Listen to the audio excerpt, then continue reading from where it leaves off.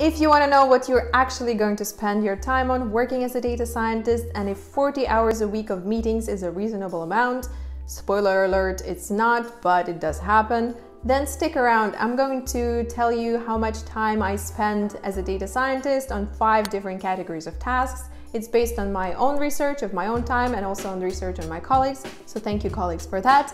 And I will also try to break it down as a percentage and show it on a pie chart. I know data scientists tend to hate on pie charts and there are good reasons not to like them unless it's a real pie like here. So stick around if you want to watch me to try to go for the whole video on one very questionable pun and a lot of very questionable metaphors and if you want to know how to make a blueberry pie and what do you spend your time on working as a data scientist. Hi everyone and welcome back. Today I wanted to touch upon a topic that I don't think is touched upon often enough and that is what you spend your time on working as a data scientist. I know in a lot of universities when you study data science program or when you're study computer science with the incline towards doing analytics or in the courses like Coursera and Udemy when you take a data scientist specializations you mostly work on doing analytics statistics, exploratory analysis, maybe experimentation, maybe testing, building some models in machine learning, and so on. But that is definitely not the core part of your work when you're starting working in the company. So I think this part might actually inspire you to pivot a little bit what you study towards the tasks that I will talk about now or pivot a little bit what you're working on if you're not working as a data scientist but do want to work as a data scientist in the future. So there are five main categories of tasks or categories of activities, let's say, that you do when you work as a data scientist. And like an ingredients for a blueberry crumble pie that I'm going to make for this, they should be in a good balance to make the whole pie of your data science career flourish and work and taste very well. First and foremost, as there is no pie without flour, there is no data science without extracting and manipulating data. Here I'm talking about the time you spend on actually going into the databases that you have in a company. It might be cloud storages like AWS or Google Cloud. It might be some local storages that you might have in your company. Looking at the data, researching what you have, what kind of tables, what kind of metrics you can extract from them, what kind of dimensions you have, is the data trustworthy? Pretty much just writing a lot of SQL queries, trying to make sense of what you have to work with as a data scientist, what kind of questions you can answer with this data, what kind of data is lacking. So you need to ask developers or product managers to prioritize delivering this data and so on. This is the core part that takes the most time, especially in the companies that are just building their data infrastructure, creating the data sets, tracking the usage of their applications or products or whatever they're selling. And this is the part that you're actually going to spend most of your time on, especially in the beginning, because you really need to take those hours and understand what you have to work with to be able to deliver value and results in the future. So I've been doing analysis on my own calendar and counting how many hours per week approximately I spend on various types of tasks. And for the data manipulation and writing queries to answer various questions, whether it's a project that I'm working on or an ad hoc question from a stakeholder, for example, like what is the number for the usage of this application and so on. I spend approximately half of my time a week writing SQL queries and doing data manipulations. It is definitely less time when it's a bit more advanced company with more um, tools built, with more dashboards built, where the data is more accessible to the stakeholders to kind of get their insights from there compared to the company where the stakeholders or like managers have to go through someone to answer a question. So don't take it as a harsh number, it's very flexible. Take your time writing queries, sanity checking data. In the future, when you build this base, you won't spend as much time on it and it will actually be much easier for you to answer questions very fast. The second category of different kind of activities that you do working as a data scientist is meetings. And in my pie analogy, that would be butter because uh, I guess you need to like have smooth relationship with stakeholders and butter is making it smooth. I don't know. Let's just go with it. There are three main types of meetings that you have to attend to. And the first one is your recurring meetings that can be stand-ups with your data science team or with the product development team that you're working with, where like daily you meet with them and see what's the progress on the project. There can be uh, planning meetings with a data scientist where you decide what you're going to work on this week or this month. It can be retros where you look back and see how it all went and discuss what needs to be changed and improved and so on. And in a lot of companies, there are those recurring learning meetings within data science community where you sit down every week for like an hour and someone shares what they worked on, what they learned, what kind of tool they learned, what kind of method they use, what kind of value that brought, so you can kind of try to apply it to your own time at work. The amount of those meetings depends on how many projects you're involved in and the size of the company. The bigger the size of the company, the more meetings there are usually. So right now I don't spend a lot of time on those meetings. Uh, for me, it's approximately two hours a week. But when I work in a bigger company, this could easily extend to five, seven hours a week. Second type of meetings that you spend most of your time on is project meetings. So those are actually planning for the specific project, meeting with stakeholders, discussing how you want to do an analysis, what kind of value they want from the analysis, meeting with them again to see the progress of whether they built something that you need to do analysis on, whether they can apply some of the learnings that you delivered to them. For me right now, it's approximately one hour a week syncing with my stakeholders on the progress of my projects, but it can easily go as well up to like five, seven, ten hours a week, depending on how many projects I'm involved in and how many stakeholders uh, want to know various very detailed parts of the project. And the third type of the meetings that you spend most of your time on is ad hoc meetings. And those are actually the least favorite for me because it's something that you can't really plan. It's someone coming up to you with a question about like, oh, what's this number for this project or the product that we're working on? Or how do I get access to this data? How do I calculate certain things? And this type of meetings is really flexible. It really depends on the week. Some weeks are really heavy on those meetings and can go up to like maybe three, four hours of ad hoc meetings where someone asks you a question.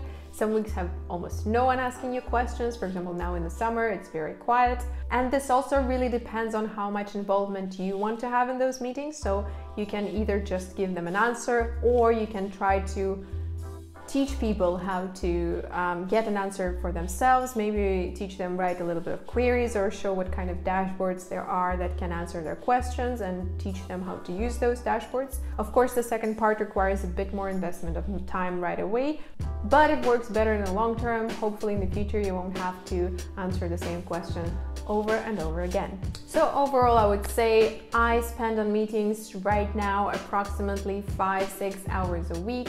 And for many data scientists, having too many meetings is actually a common point of complaint because they really kind of mess up with your brain and don't allow you to have this extended time that you can have for flow work where you get in the flow, work on a specific project, do a lot of development work and kind of can keep your mindset in the same area. Meetings usually tend to break your day apart and involve a lot of context switching. Now the category number three and the main part of the pie is the filling of the pie. So in this case, that's berries, um, blueberry and raspberry.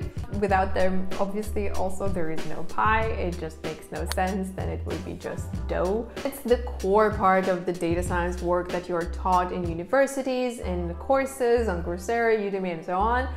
The analytical part. So this is actually using the data that you've extracted to deliver value to the company by performing analysis on it. Here you would actually use most of the data science skills that you learn in university. You will use Python, R to do data manipulation and visualization. You will use your knowledge of statistics, exploratory analytics, uh, your maybe potentially knowledge of machine learning. And this is a part where I also include a very important type of tasks, which is writing up your reports and doing presentations that you share with stakeholders where you present your learnings and try to help them integrate those learnings into the products that they're building. You would expect that this is the part you spend most of your time on, but I'm afraid it's really not the case. In many companies, you spend five to 10 hours a week on actually doing this kind of analytical work that is core data science work. But if your company is a little bit more advanced and there's already some core analytics done and core basic most important questions answered, then you will get more time to spend on doing like actual analytics. Ingredient number four is having good tech and tools that support you uh, in providing value as a data scientist in the company. And in the case of my pie, that would be sugar and starch that kind of adds the flavor and keeps the berries all together without being very soggy and not pleasant to eat.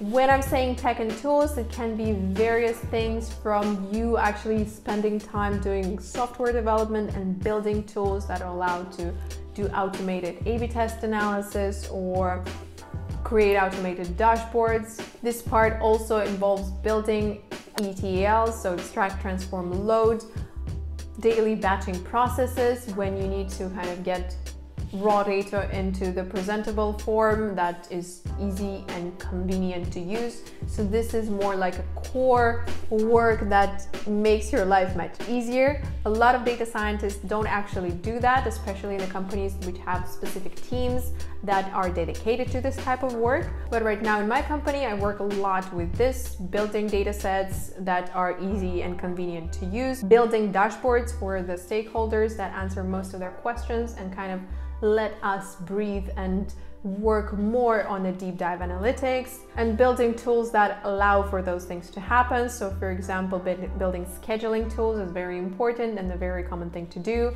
or setting up a server that runs dashboards somewhere in the cloud that everyone can have access to, which is also a really important part.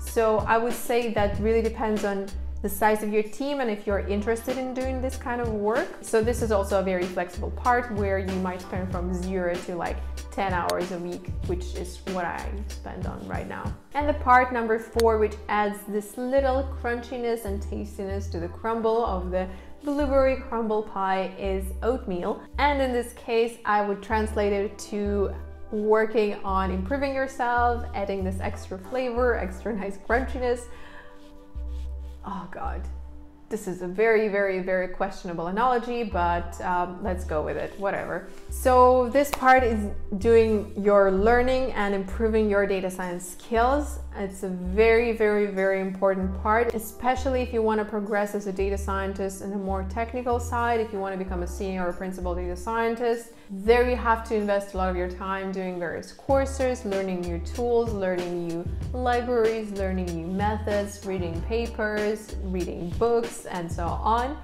I would say this is the hardest one to ever fit in your busy schedule as a data scientist. I tend to really not spend enough time on that, and I know that a lot of other data scientists that I work with are really lacking this part. In a lot of companies, I know you might actually get this allowance of spending like half of your afternoon or an afternoon on Friday to like work on your skills, do some Coursera courses, or read some books. But I've never really seen this actually working for a long term. People tend to like try to do that for a couple of weeks and then they fall into the habit of actually just having meetings, doing their core work because that's in the end what's the most important and otherwise you'll have to like try to catch up on this work. I think that's the part that's most often overlooked when you're deciding to work as a data scientist that really often you don't have enough time at work to study certain skills or certain material to actually progress in your career. So that requires a lot of discipline and a lot of extra engagement and extra passion for data science to be able to learn on your own time. The best thing that you can hope for is have a project that will require you to learn something new, a new skill, a new tool, a new method, um, but that doesn't always happen and it's also really often on you to find this kind of project where you can apply some new knowledge that you might want to learn. So let's see how my data science blueberry crumble pie turned out and what did I spend most of my time on.